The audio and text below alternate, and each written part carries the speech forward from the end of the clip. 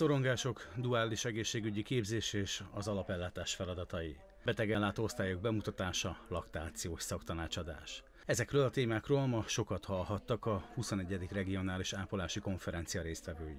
Az eseményt az Ápolók Világnapja alkalmából szervezik meg hagyományosan június elején. A Covid-járvány az előző években ebbe is beleszólt, akár csak az egészségügyi dolgozók életébe. Nem véletlen, hogy az ápolási konferencia fő témája is ez volt, célja pedig, hogy biztatást kapjanak az ápolók a jövőhöz.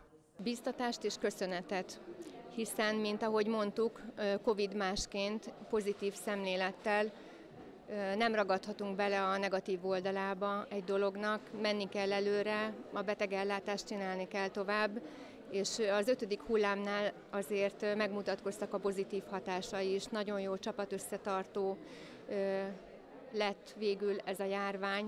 A konferencia megnyitóján dr. Horváth Zsolt orvosigazgató is köszönetét fejezte ki az ápolóknak.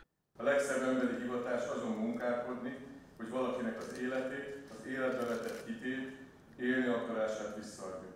Az orvosigazgató Benkő Elekről és feleségéről is beszélt a jelenlévőknek. Ők teremtették meg Kecskeméten az első kórház, azaz a Cserepes kórház létrejöttének feltételeit munkájukkal. Ma már 1700 szakdolgozó munkálkodik a Bács-Kiskun megyei oktató kórház ernyője alatt azon, hogy amennyire csak lehet, mindenki egészségben élhesse napjait.